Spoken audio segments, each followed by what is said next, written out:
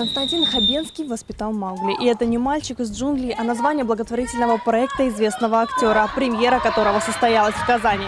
Премьера спектакля «Поколение Маугли» прошла в Казани. Главную роль в нем исполнили не профессиональные актеры, а ребята из творческой студии Хабенского.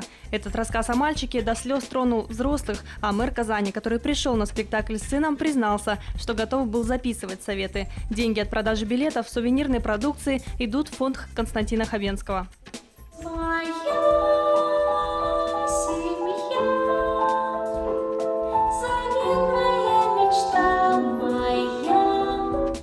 Актер помогает детям с онкологическими заболеваниями. Кроме этого, на сайте проекта можно проголосовать за творческие работы детей. Каждый клик автоматически превращается в рубли, которые также идут на лечение. За время работы проекта помощь получили более 140 детей. Что может быть ценнее спасенной жизни? О каких результатах вы еще говорите? Это дети, которые ходят а, по острию ножа, по лезвию. Я просто говорю, что мы занимаемся спасением жизни.